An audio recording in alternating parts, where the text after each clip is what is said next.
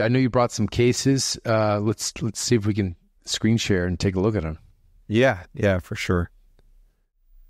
So this is what I was referring to when I was talking earlier is the cheat sheet that we use for all the different types of filters. And then we actually have a little kind of protocol kind of cheat sheet guide that all our trainees use that I was referring to. But this is these are images of all the filters that we generally see in consults. So the first case is a 58 year old female, a history of subarachnoid bleed, filter placed in 2013, presents with chronic DVT. She had swelling in one of the extremities. Basically, this is an evaluation for removal. I think this was referred from one of our colleagues at um, in cardiology because uh, just given the type of filter, which I'll show you in a second. We did have a pre-op CT, which I didn't show, that showed it was actually a greenfield filter, which was a little questionable because it was placed in 2013. I'm not sure we should be placing greenfield, or they were being placed yeah. in 2013. So that was just a maybe the history was the timing was off a little bit, but so when we see a filter like this, again, I you know it's a greenfield filter. Uh, you know it's t- it's obviously going to be tilted. I do the three projections, which is the AP and the two obliquities. This is one of the obliquities here. Uh, and you know, this type of filter, I know we're not going to be able to use kind of our simple technique. Actually, you know, as I said earlier, I, I know it's scarred in.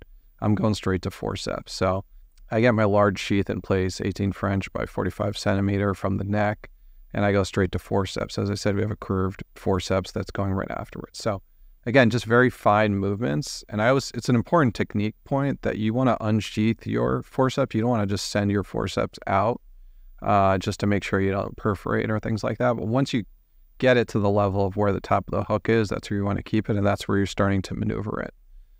The whole goal, obviously, is to maneuver it so we can get onto the top of the uh, onto the top of the filter right there. Uh, and then once you, and as I said, this is this is really a tactile feel. Like once I'm feeling where that filter is, once you know you grab onto that hook, that's where you're sheathing that filter.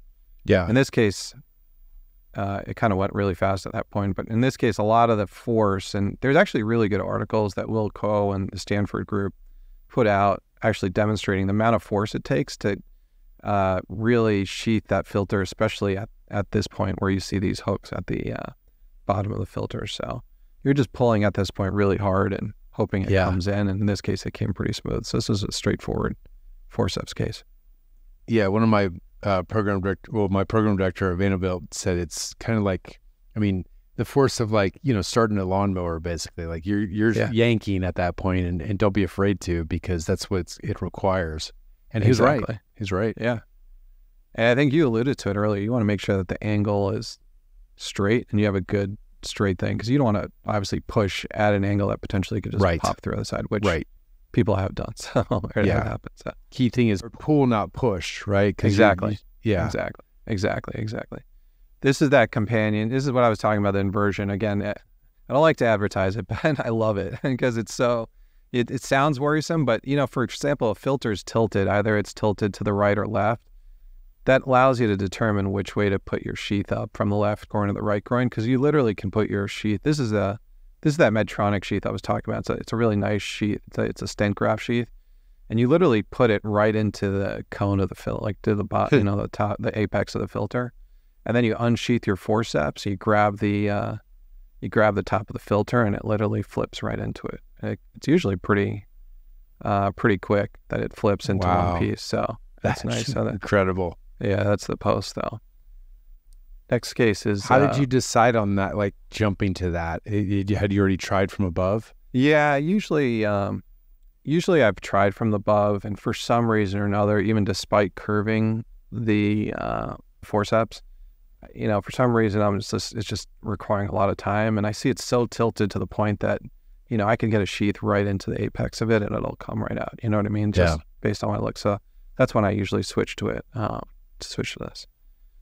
Uh, this was a lady actually. She had two filters. Fifty-year-old um, history of lupus, multiple thromboembolic events. Two filters placed 2011, 2014. One of them was a Celect. Again, this is a spot image. Celect at the top, and then you have your uh, TrapEase at the bottom. You don't see a hook here. She was chronically occluded. This is from the right. This is from the left. So, in these cases, you want to you want to make sure you get wire access across whenever you're doing your work. Uh, you're prepared to. In this case, I was I, I have a sheath from above and below.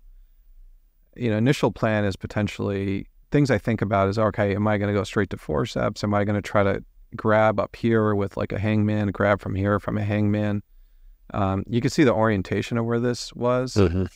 You know, obviously it's a little. I think I tried it to do a hangman. It was just getting to be difficult, and then I switched to uh, forceps. This was a run uh, before, so so in this case, actually, I ended up going straight to forceps. And the thing about these TrapEase filters is, if they've been in for a while, if they don't have chronic clot in them, they uh, can break up pretty easily. So in this case, it ended up breaking up. She was chronically occluded afterwards, which ended up ballooning and then stenting across. Uh, and you could see the post flow that occurred here that she had. So, so it looked like a tulip or something from a, uh, the top one, um, uh, top yeah, filter. It, that just came out easily, or yeah, that came oh. out. I used forceps from the top as well. Again, yeah. I'm just highlighting my love for forceps here, unfortunately. Yeah.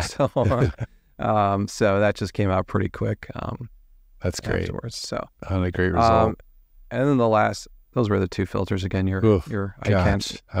this broke up in a bunch of pieces.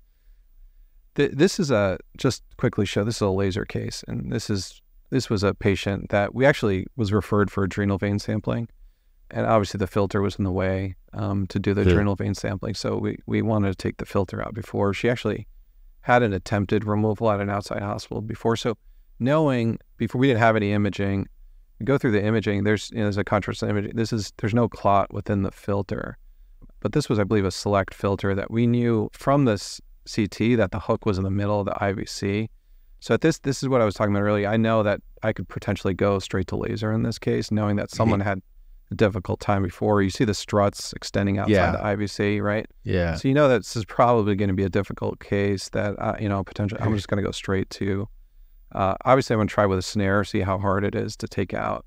Uh, so I was able to grasp it uh, with a snare. I actually want to credit one of my colleagues. I did this with one of my colleagues. It was his patient that we did it together.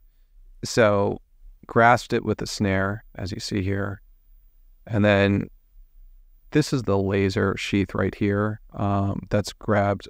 Uh, let me pause it here. So this is the laser sheath right here. Okay. Um, and you're kind of, as I said, you're slowly tracking the laser down with your outer dissector sheath uh, in a stepwise fashion.